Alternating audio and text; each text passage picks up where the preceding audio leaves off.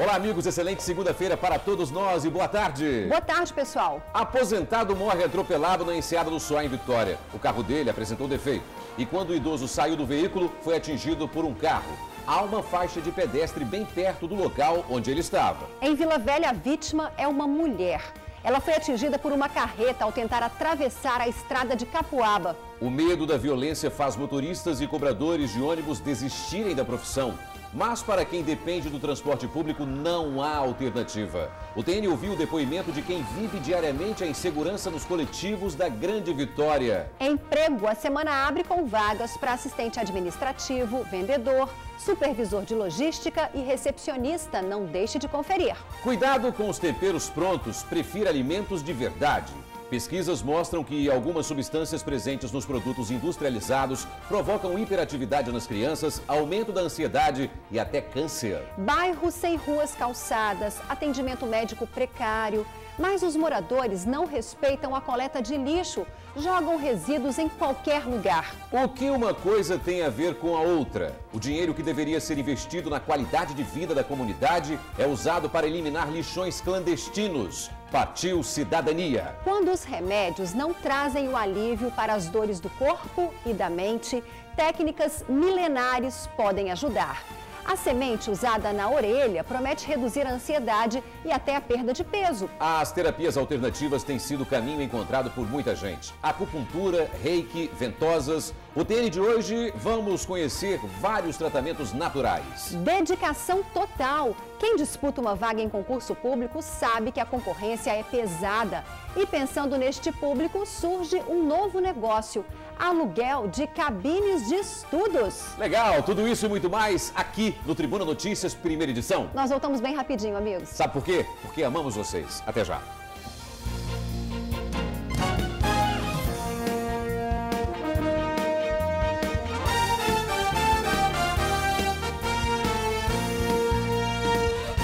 Olá pessoal, de volta aqui. Estamos em mais um início de semana, 29 de agosto de 2016. Muito, mas muito obrigado mesmo pela audiência que você nos dá. Valeu?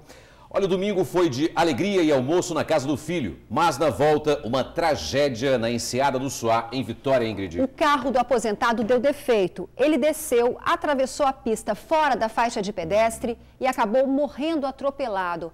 A esposa viu toda a cena. O aposentado de 60 anos nem chegou a ser socorrido, morreu na hora.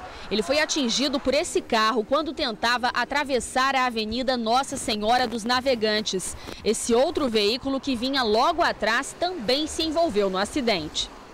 Testemunhas disseram que o aposentado e a esposa voltavam de um almoço na casa do filho. Quando passavam por aquele semáforo aqui nas proximidades da Praça do Papa, o carro começou a dar defeito. Uma pessoa parou para ajudar o casal e conseguiu empurrar o veículo até esse ponto de ônibus. Quando chegou aqui, o aposentado saiu do carro e atravessou. Ali na pista do meio, ele quase foi atropelado por um ônibus não foi atingido pelo coletivo, mas foi por esse carro que também seguia no sentido Serra Vitória, só que na pista da esquerda. O impacto foi tão forte que quebrou o para-brisa. Dá só uma olhada. O aposentado foi arremessado a metros de distância. Ele atravessou na frente do ônibus é, e, o, e, o, veículo de passeio atingiu. Né? Ele ocupava a faixa da direita, o ônibus, ao sair do ponto de ônibus, ocupou a faixa central e ele atravessou e foi atingido na faixa da esquerda, faixa que, que, onde se desenvolve maior velocidade dos veículos. O trânsito nesse trecho da Enseada do Suá em Vitória foi parcialmente interditado. O motorista que atropelou o aposentado permaneceu no local. A Guarda Municipal não deu muitos detalhes sobre o atropelamento porque a família da vítima estava bem agressiva. A poucos metros do local do acidente tem uma faixa de pedestre. Mesmo assim, o aposentado se arriscou e perdeu a vida. Não entendi por que essa pessoa saiu né, de dentro do seu carro que estava é, avariado na faixa da direita, atravessou na frente de um ônibus e foi atingido na faixa da esquerda. A vítima foi identificada como Carlos Augusto Duarte, de 60 anos. Ele era vigilante aposentado. E os dois motoristas envolvidos no acidente, inclusive o que atropelou Carlos, fizeram o teste do bafômetro que deu negativo. A saída para alguns motoristas e cobradores de ônibus tem sido desistir da profissão, que é muito ruim. Mas para trabalhadores que dependem dos coletivos para ir e vir, não existe alternativa. As histórias de medo são contadas todos os dias. A realidade de assaltos, agressões e tiros é vivida por passageiros e rodoviários. Nossa equipe de reportagem ouviu o desabafo de um motorista que já foi assaltado nove vezes. Uhum. Para garantir o ganha-pão da família, convive no ambiente da insegurança e diz que sai de casa sem a certeza de que vai voltar. Esse motorista trabalha no sistema Transcol há 12 anos e durante todo esse tempo não foram poucas as cenas de violência presenciadas por ele dentro dos coletivos. Jovens, adultos, idosos e crianças no dia a dia, dentro do transporte público, ninguém é poupado pelos criminosos. Houve a situação que uma criança começou a chorar dentro do ônibus e um dos menores foi deu um soco na cabeça da, da, da criança dentro do ônibus. E para poder ninguém ir atrás deles, quando desembarcaram na altura de Barro Branco, eles dispararam um tiro para o alto, para ninguém correr atrás deles. Assaltos em que ele também se tornou vítima foram nove ao longo da carreira. O último deles foi o mais assustador, motivo pelo qual o motorista de 34 anos pensou em abandonar de vez a profissão. Eram três miliantes, eles embarcaram dentro do terminal de Carapina e vieram até, fazendo arrastão até chegar em Itaquara. Chegando em Itaquara ali, o bandido queria simplesmente que, que eu não parasse de, de, de, de não parasse um ônibus de forma alguma, mas que eu, que eu, que eu desse fuga a eles. E um deles ficava em cima de mim armado, fazendo pressão psicológica em cima de mim, para que eu não parasse um ônibus nem acenasse para ninguém. Depois dessa ocasião, o motorista decidiu tomar uma atitude. Pediu à empresa que lhe trocasse de horário e de linha também. Cansado de tanto prejuízo, leva um celular velho para o trabalho, apenas para comunicação com a família. Há um ano e meio, cada dia de trabalho sem assalto é motivo de comemoração. Deus quem tem dado livramento a cada dia. Ele tem cuidado para que o assalto não acontecer. Mas nem todo mundo tem motivos para comemorar. A família de um jovem de 23 anos, baleado durante uma tentativa de assalto mal sucedida, que o diga. O crime aconteceu no último dia 16 no bairro Forte São João e Vitória. O rapaz que seguia para a faculdade teve a viagem interrompida por criminosos e tomou dois tiros após reagir ao assalto. No dia seguinte, a categoria chegou a fazer uma manifestação. Cerca de 50 ônibus ficaram parados por quase três horas no terminal de Itacibá. Rodoviários decidiram pelo manifesto como um pedido de socorro. Está difícil, não está tendo como mais trabalhar. A segurança é para todos, não só para motorista e cobrador, mas também para a população, que são né, os passageiros do dia a dia. Além da categoria, os usuários. Não são poucas as histórias que podem ser ouvidas em qualquer ponto de ônibus. Quem depende do transporte público certamente já viveu ou presenciou ações criminosas dentro dos coletivos. O destino de cada um deles pode ser diferente, mas a realidade depois que se põe o pé para dentro do coletivo é sempre muito parecida. A violência hoje em dia tá, tá muito, né? A gente fica com medo de acontecer alguma coisa, alguém chegar, assim, não conhece, né? A gente anda com medo, minha filha. Agora mesmo estou levando, estou mandando ela ir para casa da mãe dela, mas eu falo, cuidado com o celular. Em Laranjeiras eu fui, nós fomos assaltados. Então você fica assim, sem, com medo até de sair dentro de casa, conta dos assaltos que vem acontecendo não só nos pontos de ônibus, mas também dentro dos coletivos também. É um risco que a gente corre, né? Em todo coletivo, ponto de ônibus mesmo. Se quem é usuário convive com medo, quem faz desse ambiente seu ganha-pão vive e revive toda essa insegurança diariamente. Você não sabe se você vai sair vivo de casa, se vai retornar vivo para sua casa. Que Deus proteja os rodoviários e também, claro, os passageiros, né? Agora, para diminuir a insegurança, a PM tem feito operações principalmente à noite. Vários ônibus são parados e passageiros abordados e vistoriados. Bem, tomara que esse cuidado com trabalhadores seja uma rotina, porque realmente está complicado entrar no ônibus e não ter pânico dessa violência, né? Com certeza, Não tem jeito, não. Isso aí. Ele deixa a comida mais gostosa, realça o sabor dos alimentos. O glutamato monossódico está presente na maioria dos produtos industrializados, principalmente nos temperos prontos. Nome difícil, glutamato monossódico? É, mas o que traz prazer esconde um perigo. Os realçadores de sabor podem provocar várias doenças, entre elas hiperatividade nas crianças e até o temido câncer. Veja.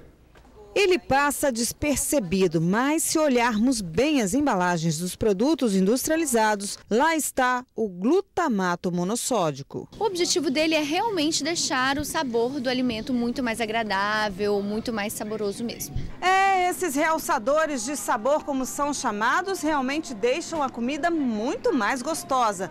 Mas essas delícias podem provocar doenças graves. E o pior, quanto mais a gente utiliza esses produtos, mais a gente fica viciado. O uso dele está relacionado ao desenvolvimento de algumas doenças e pode também agravar algumas doenças, como enxaqueca, hiperatividade, autismo, doenças oculares e até mesmo desenvolver o câncer. Por ser um realçador de sabor, assim como um açúcar, um adoçante, quanto mais a gente utiliza, mais a gente tem vontade de consumir aquele produto com aquele sabor. Além de doenças graves, o glutamato monossódico favorece o desenvolvimento da hiperatividade. Pesquisas têm apontado que o uso prolongado desse produto provoca alterações no comportamento, principalmente das crianças que ficam mais agitadas. O gostinho bom da comida pode mesmo esconder um grande vilão. Na casa de Jobéria, o almoço é feito com todo carinho. Pela televisão você não consegue sentir, mas o cheiro vai longe e para isso, vez ou outra, ela recorre a esses quadradinhos aí. A gente usa, né, os caldos de carne, mas agora eu tenho trocado. Eu coloco mais o tempero é o caseiro, né? E a gente deve ficar atento. Há produtos industrializados que não possuem o glutamato monossódico em sua composição. Basta olhar bem os rótulos para identificá-los e fugir deles. Mas o melhor mesmo é investir nos temperos naturais. Tem os temperos frescos, os temperos desidratados, secos. Então a gente pode abusar aí de alho, cebola, cebolinha, cúrcuma, açafrão, cominho. A opção é que não falta, é só usar a criatividade e acostumar o nosso paladar com um sabor muito mais agradável que vai trazendo benefícios para a nossa saúde. A Jobélia nunca tinha ouvido falar do glutamato monossódico. Ficou assustada com as consequências do uso prolongado desse realçador de sabor. E para conservar a tranquilidade no lar, de agora em diante, só vai usar temperos naturais. Eu prefiro o meu tempero completo. Natural. Natural. Vai abolir de vez aqueles outros? Vou, vou. Que aí, com sabendo mais isso ainda, então melhor ainda, né? Que aí já prefiro o meu temperinho completo, natural. Natural é mais garantido. Mais garantido. Dona Jobéria Dias, que arroz branquinho e bonito, viu? Isso mesmo, viu? Para ficar em dia com saúde, basta apostarmos nos alimentos naturais.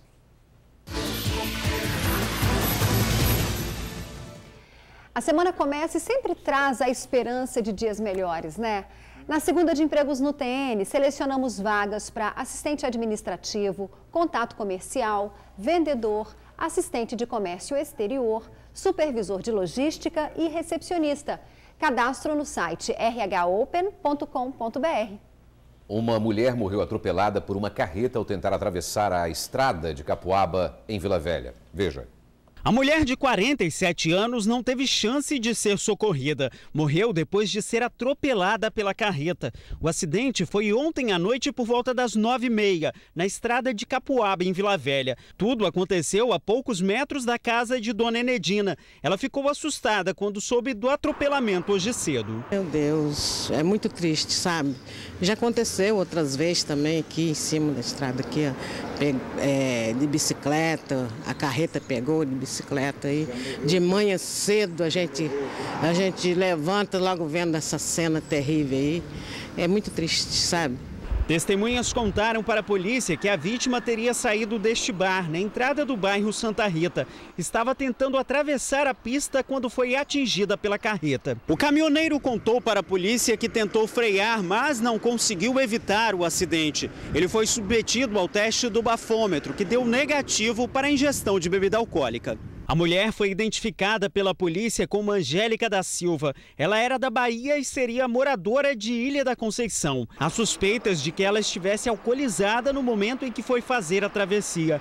Mesmo assim, moradores reclamam da velocidade dos veículos que trafegam na estrada de Capuaba. Não tem quebra-mola, né? É. Aí os carros pesados passam aqui, eu fico morrendo de medo. Avança sinal direto aqui, é moto, é carro, ninguém respeita nada aqui.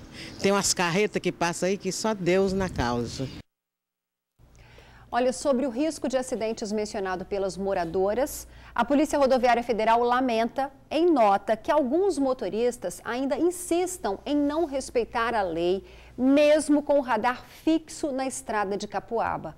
A PRF diz que faz fiscalizações constantes, além do trabalho educativo. Em tempo de economia difícil e desemprego, estabilidade é palavra que vale ouro. Oh. E os concursos públicos estão cada vez mais disputados. Para os estudantes, é a chance de uma vida melhor e mais tranquila também. E para empresários, visão de uma oportunidade de negócio e tanto. Veja aí. 8 horas da manhã e a sala de aula neste cursinho está lotada. Estes alunos estudam para passar no concurso do Tribunal Regional Federal.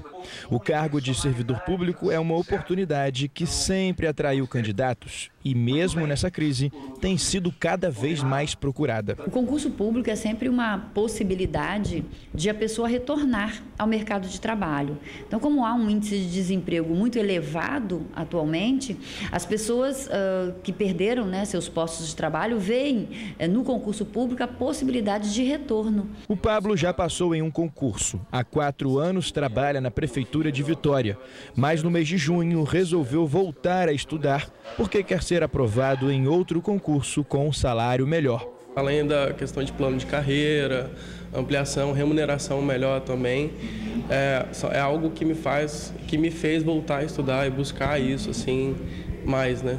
A Letícia também está em busca de aprovação, mas os motivos dela são outros. Depois de três anos fora do mercado, ela resolveu estudar para seguir a carreira como funcionária pública. Seria uma nova oportunidade porque te abre um horizonte diferente e um horizonte chamado estabilidade. A crise fez o número de concursos diminuir, mas eles continuam aparecendo e ainda são a escolha de muitos que querem estabilidade e um bom salário. E esse universo dos concurseiros não oferece oportunidades só para os candidatos. Para os empresários, os estudos têm se mostrado um bom negócio. Nesta empresa da Enseada do Suá, em Vitória, os alunos pagam um aluguel para ter uma cabine de estudos. A princípio, a questão do, do silêncio, da concentração me chamou muita atenção e principalmente a flexibilidade de horários que eles têm aqui, fica de 8 à meia-noite. Então, se você tiver algum compromisso para resolver no dia, você tenha consciência tranquila que você vai poder ainda compensar seus estudos no resto da semana. A Vanessa teve a ideia e inaugurou o serviço no início deste ano. Foi em função da própria necessidade do meu filho de ter um lugar com comodidade e com silêncio para conseguir concentração para estudo. Daí surgiu a Unique, né? Então a gente abriu esse espaço onde as pessoas têm uma cabine exclusiva, onde o ambiente é com tratamento acústico, com refrigeração, com sistema de segurança. Em oito meses, 70% das cabines já estão alugadas. Apesar de não ser a única renda da empresária, este é um negócio que ela montou para aproveitar a oportunidade no mundo dos concursos. Todo negócio tem função de, de lucro. Né? Então, é uma coisa que tem dado resultado, sim. No cursinho de Jardim da Penha, os ganhos da empresa também estão bons. No momento, nove cursos estão abertos e as matrículas tiveram um aumento. Acredito que muita gente esteja é, vendo um concurso como uma opção bem melhor, tanto pessoas que estão empregadas como pessoas que estão empregadas, inclusive nosso colega que já é até funcionário público e quer uma condição melhor de carreira. Para outras informações sobre os lugares que mostramos na reportagem, é só procurar no Facebook por CEP Concursos e por Unique Ambientes de Estudos.